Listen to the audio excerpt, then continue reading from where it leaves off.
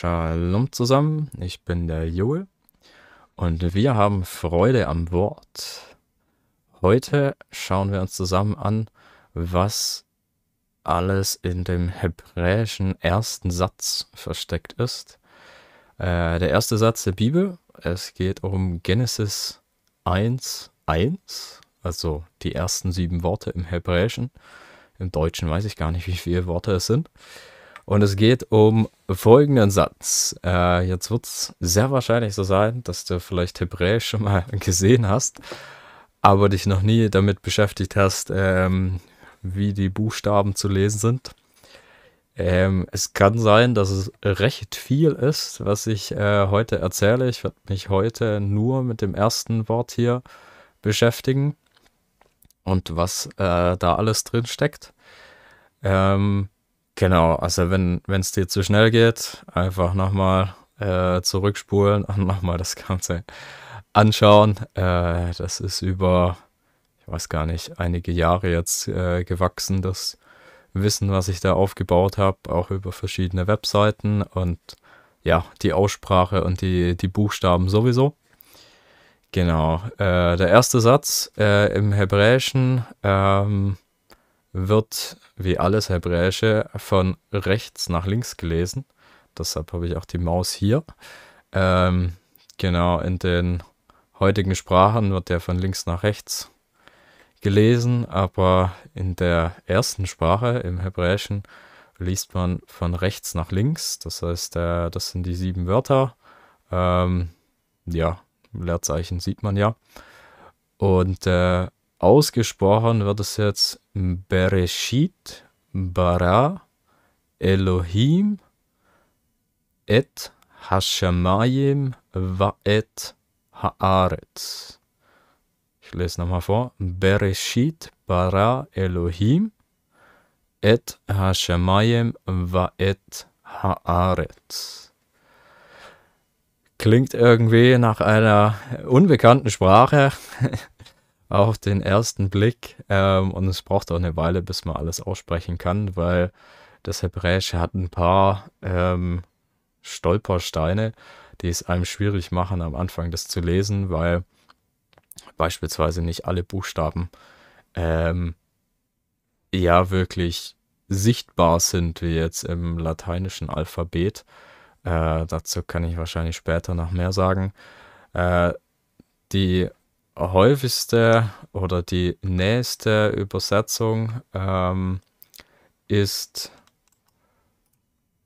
im Anfang schuf Gott die Himmel und die Erde. Ähm, hier steht dann Elohim. Das ist äh, dieses Wort, was ich gerade gezeigt habe. Elohim äh, steht hier. Und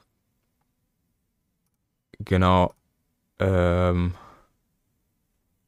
Shamayim ist der Teil von Hash Shamayim, äh, wo das eigentliche der Himmel, also hier steht dann Lufthimmel oder Sternenhimmel damit gemeint ist, beziehungsweise auch der Thronsitz Gottes. Und äh, das ist dieses Wort. Hier steht ein H, äh, sozusagen dem englischen The, also der, die oder das im Deutschen äh, entspricht. Und hier steht dann Shamayim, genau. Zu den äh, späteren Worten, also es sind ja sieben Worte hier, hier drei und hier sind es vier. Äh, zu den weiteren sechs Worten komme ich später. Heute beschäftigen wir uns mit dem Wort Bereshit. Genau hier haben wir gerade gesehen, ähm, es wird fast immer im Deutschen wahrscheinlich im Anfang übersetzt, dieses Wort.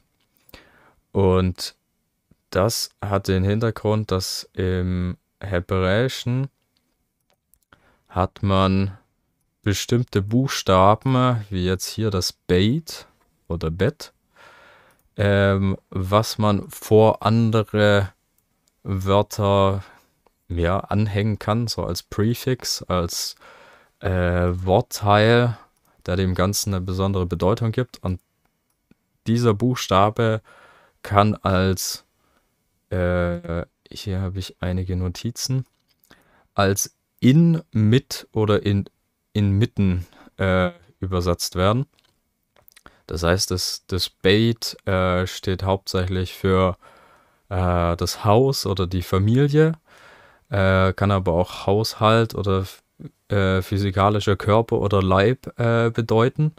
Und dieser Buchstabe, der da am Anfang ähm, angehängt wird, der ähm, heißt dann, wenn man es direkt übersetzt, in Anfang, wenn man es so äh, sozusagen nimmt, in Anfang. Äh, und da es im Deutschen das nicht gibt, äh, sagt man dann im Anfang, obwohl da eigentlich kein Artikel im Hebräischen drin ist. Das ist wahrscheinlich schon relativ viel. Ähm, vielleicht machst du kurz eine Pause und schaust den vorderen Teil nochmal an, wenn du willst. Ähm, ansonsten, genau, haben wir hier ähm, zwei Wortteile, also Reishit, das ist dann Reishit, äh, dieser Teil hier, der ja heißt direkt übersetzt äh, Anfang oder in the beginning, wäre es dann im Englischen. Ähm, und genau, spannend ist das Hebräische, also hier sind einige Notizen ähm, zu dem, was es so alles äh, zu lernen gibt. Äh, da gehen wir heute zusammen etwas drüber, auch über die Bibelstellen, die da überall äh, referenziert sind. Ähm, genau, weil das Interessante am Hebräischen ist, ähm, dass man Teile von Wörtern, ähm, ja, dass sozusagen man nicht nur im Anfang lesen kann, sondern man kann auch Teile von diesem Wort äh, benutzen. Äh, vielleicht ist es dir hier aufgefallen, dass Bereshit und Bara hat jeweils die äh, genau gleichen drei Buchstaben. Das heißt Bereshit, äh, dieses Wort, und Bara ähm, haben genau Beit, Reish und Aleph als Buchstaben. Ähm, das heißt Beit, Reish und Aleph. Das sind die drei Buchstaben. Und so funktioniert das äh, im Hebräischen äh, sogar nicht nur auf zwei Buchstaben-Ebene, also das hier sind ja drei Buchstaben, äh, Bereshit und Bara, ähm, sondern äh, sogar auf Buchstabenebene. Äh, und da wird es dann sehr, sehr spannend, weil dann kommt man auf eine Ebene, ähm, die gibt es meines Wissens in kaum einer anderen Sprache, vielleicht noch Chinesisch oder irgendeine andere Sprache. Aber normalerweise ähm, kann man jetzt ja in zusammengesetzten Wörtern äh, im Deutschen gibt es die Möglichkeit, da bestimmte Teile rauszuholen. Ähm, Schifffahrtsmeister oder sowas. Ähm, da hat man dann drei Wortteile, aber im Hebräischen kann man sogar auf Buchstabenebene gehen. Ähm, und das macht sehr, sehr spannend, weil da kommt man dann, wie man hier schon ein bisschen sieht, ähm, auf Bedeutung, die, äh, die kann man nur im Hebräischen verstehen. Genau. Ja, hier habe ich äh, einige Notizen aufgeschrieben. Der erste Satz, ähm, beziehungsweise das erste Kapitel, ähm, wird übersetzt, wie ich gesagt habe. Äh, hier steht dann äh, Bait als erster Buchstabe und ähm, Zayin als letzter Buchstabe, der ist nicht so häufig, deshalb musste ich kurz überlegen. Ähm, von Bereshit Bara ähm, Elohim et Hashemayim vaetz haaretz. Vaet haaretz, sorry. Genau, von Genesis 1, Vers 1. Und im Anfang äh, dieses erste Wort. Äh, ja, hier habe ich ein Wortspiel reingebracht, doch fangen wir mit dem Anfang, also äh, Reshit an. Und besser gesagt mit dem ersten Buchstaben, äh, der gesprochen wurde, nämlich dem Bait. Also das hier ist das Bait, äh, handschriftlich von mir geschrieben. Und das Bait ähm, steht für einerseits ähm, in, mit und inmitten im Hebräischen. Also dieser extra Buchstabe, den man an andere Wörter vorne hinzufügen kann, um dann zu sagen, hey, das heißt in oder mit oder inmitten. Aber der Buchstabe selber bedeutet auch äh, Haus oder Familie oder Haushalt, physikalischer Körper, Leib. Ähm, genau. Und das Interessante ist, dass dann Beit nicht der erste Buchstabe vom hebräischen Alphabet ist. Also Alphabet kommt von Aleph Beit. Ist dir vielleicht noch nie aufgefallen, aber äh, im Hebräischen die ersten zwei Buchstaben sind Aleph und Beit.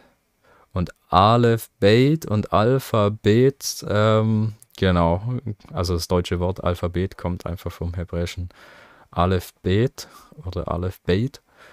Ähm, und der erste Buchstabe, äh, der steht sozusagen vor dem, vor diesem Bait hier. Ähm, dass Gott, das ist so die Idee, dass Gott, äh, Yahweh, äh, hier als Aleph vor diesem Bait ist und dann von dieser Seite das Ganze gesprochen hat, äh, weil das der Buchstabe Aleph steht für, für Gott, äh, für, für den Vater, genau.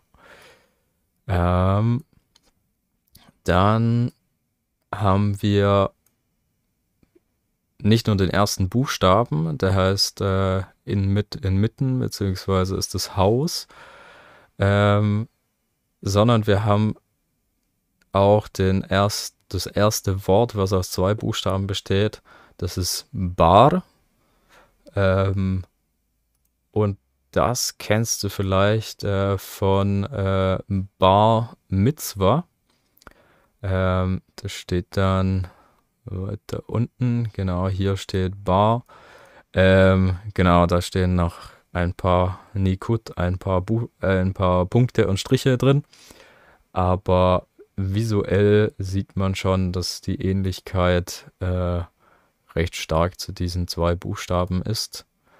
Und das ist das Wort Bar, ähm, was dann ja im Aramäischen, wie hier drin steht, ähm, vielleicht war es ursprünglich mal so, dass Bar ähm, das Wort war für den Sohn.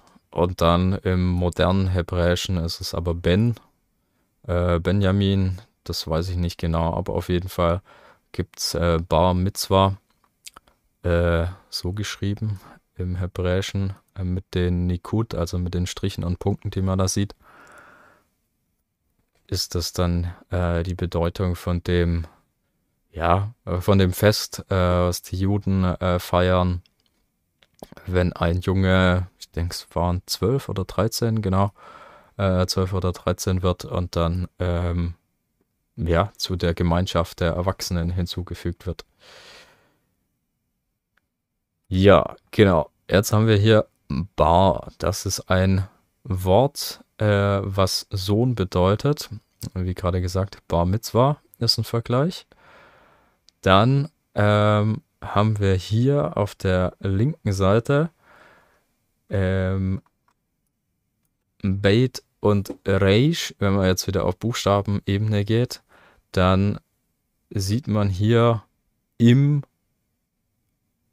Reish, also der, der Buchstabe heißt äh, Reish oder Resh. Und wenn man das, den Buchstabe ausschreibt, dann äh, schreibt man das äh, Reish Aleph Shin. Das sind die drei Buchstaben, die man hier sieht. Und das bedeutet Kopf. Also im Kopf könnte man dann sozusagen aus diesen zwei Buchstaben schon herausholen.